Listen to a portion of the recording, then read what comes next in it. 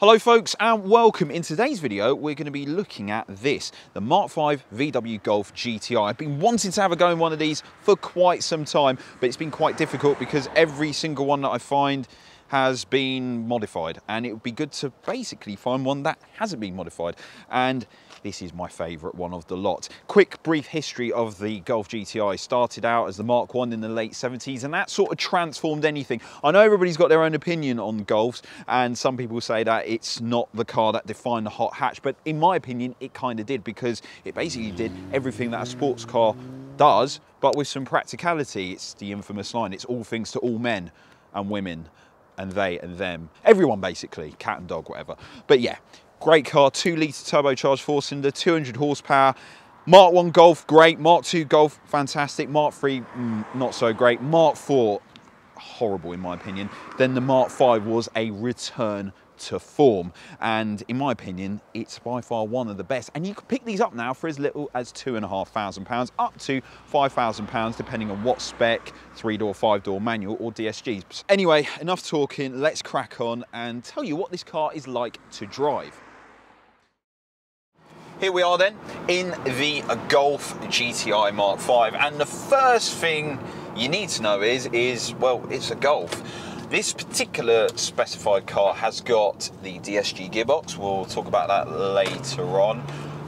But one thing I must say is for a car that is well over 15 years old, I'm just amazed by how modern it still feels. I mean, inside, there's nothing really much showing its age especially compared to say something like a Mark 7. All right, Mark 8 has a newer, fancier interior, but you know, it feels pretty solid to me.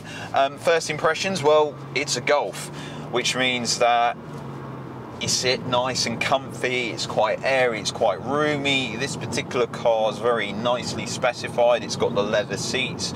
It's a five door car. You've got two options of wheels. You can go for the painted colour silver ones, I forgot the name of it, or you can go for these, which are the Monza wheels finished in diamond cut. Under the bonnet, we have a two litre turbocharged four cylinder, pushing out 200 horsepower. In manual gearbox specification, it will do 0 to 60 in just over seven seconds. If you specify or get one of these with a DSG gearbox, it will do it in less than seven seconds. And this DSG gearbox works a dual clutch system, which means that it just shifts through gears really well. It's just that little bit more frugal than the standard manual car. But to drive, it's just so normal and I think that's what makes the Golf so special. It's not intimidating, and that's why it's that car for everyone. Anyone can drive this. You could put your nan in this, and it would feel normal. But it also feels timeless, and I quite like that. It feels like a timeless car.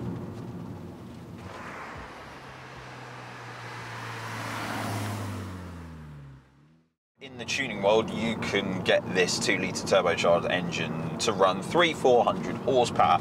Me personally, I would keep it a little bit stock, but OEM plus. Maybe 250, maybe 300 with a limited slip differential. And like I said earlier, you could pick these up for two and a half thousand pounds, but beware because those ones do suffer with a bit of rust. They like to go on the boot, the arches, even on the bonnet as well. So you will be spending a little bit of money. And I have been told as well that the underneath can get a little bit rusty. You know, where the jacking points are, if you're not too careful, when you jack one up, it will plomp through there. In terms of running cost and maintenance, well, these are very frugal. These will do the best part of 40 miles per gallon. Servicing them isn't too expensive. Just make sure that you do the cambelt water pump service.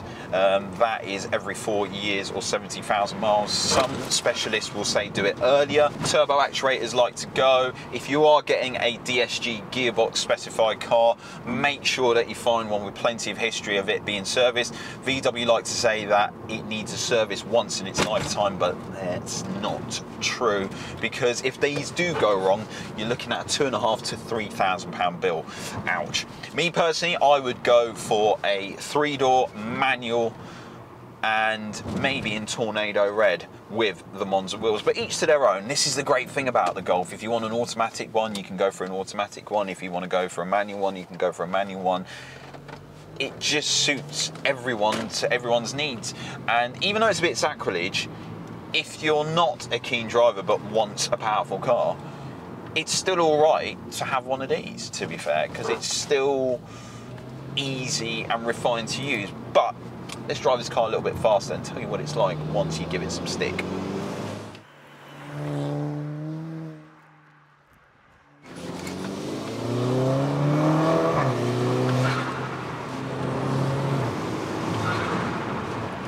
So this two litre turbocharged four cylinder, it's got plenty of punch low down in the rev range, 200 horsepower. I know that doesn't sound much, especially you guys in Bradford will tell me that this thing will run five, 600 brake horsepower, but it's just too much for the front wheels. I think it's quite a nice flexible linear torque curve. You can run this at, like I said earlier, three, 400 horsepower, and it wouldn't be too hard to get it to that. The soundtrack, it's quite farty, it's got a farty sort of soundtrack to it. VW sort of invented this DSG farts, which we're well known and well familiar with newer models. The ride stock is pretty good. This car has got lowering springs, which, if I'm honest, upsets the ride a little bit. You might tell that in the video. But it's so effortless and easy to drive and like I said, it's not intimidating. And some people like that, some people want that from a car. But also, more importantly, the Mark V Golf showed that VW could make an engaging and keen driving sports car. I mean, once you start ragging it a little bit,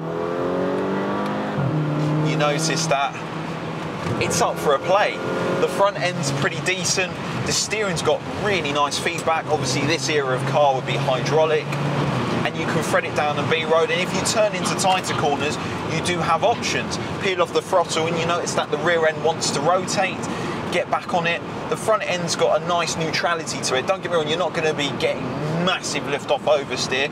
It's not like a Focus ST in that department, but it does give you options. And if you want to go down the tuning route, I think this will make a really good track car. A track car where you can literally drive there, decimate some, you know, under keen drivers in expensive supercars and drive all the way home and get 40 mpg. I quite like that.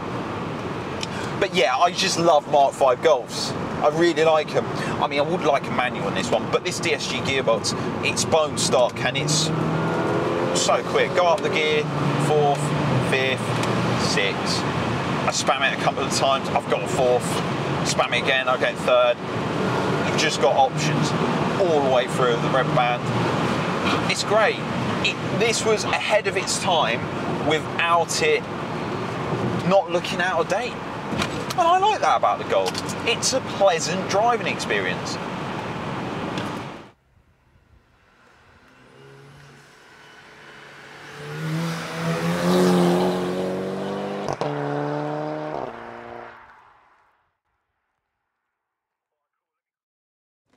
Now there's going to be a point in the video where you're watching this right now and thinking, I want a VW Golf Mark V GTI, and I don't blame you because it is a lot of car for the money, which is where I bring you on to Car Vertical, which is sponsoring today's video. Now Car Vertical is the ultimate platform for when searching or buying or selling your next used car. You can check for mileage miscorrections, whether it's been a category damage, you can check whether it's been clocked, stolen, or has outstanding finance. It's quick and easy to use. All you've got to do is just go on the website put in a registration, and it will tell you literally everything. And if you want to do that, click on the links in the description down below and use the discount code SID for 10% off.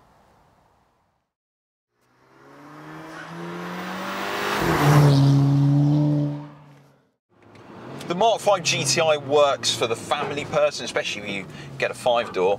And if you are that family man that's busy with the kids and you've got a nine to five job, on a summer's evening you want to go out for a B road drive, well, you could come out here and do what I'm doing. Enjoy myself. It's so pleasant and it's still quick. And I keep going on about this, but I'm still struggling to get my head around these numbers. Since when was 150 mile an hour slow and 0 to 60 in under seven seconds slow? It, goes really, really well and it looks cool. This one finished in a five door, it looks very, very discreet. Like I said, there are loads out there that have been chaffed up, you know, wind deflectors and 4D number plates gelled. Uh, but this has been tastefully done. And it's nice to drive a stock one again. And the fact that you can pick these up for two and a half to three and a bit thousand pounds, so as long as you find one with decent history, you should be okay. So yes, steering good, engine good, not the most charismatic one in the world, but it's effective. Chassis really good, just so neutral. And it's got a good sense of connection. And taking it down my favourite B-road drives, you can just sense that it's up for a play, you know, just pile it into a corner. Doesn't torque steer, hardly understeers. I mean, the Mark IV Golf God, that was. It was a solid car, but as a GTI, uh, Mark III wasn't that great. I mean, it wasn't as bad as the Mark IV, but they both looked pretty hideous. Mark II's awesome, but they've now become a proper icon of a classic, and they are getting on a bit. This is still the car to buy. The Mark VI, I did do a video on that one. Check that somewhere up there. Did do a video on one of them, and yeah, that was pretty pleasant, but for me, it's still Mark 5. Just love the Mark drive and the way this thing drives.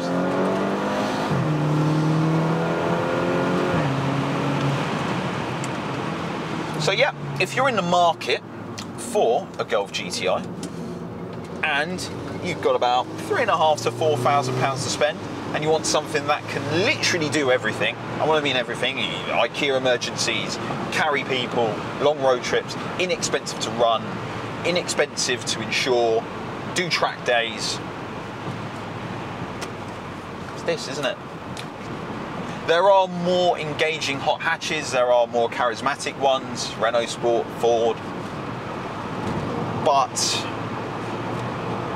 this is the perfect all-rounder. And in 2023, it still feels modern. So yeah, this is my highlight of the car.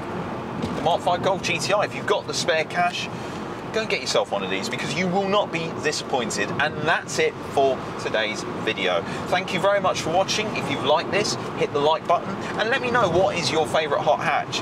Am I wrong about the Mark 5 Golf GTI? I know I'm not wrong. I will argue with you guys in the comments.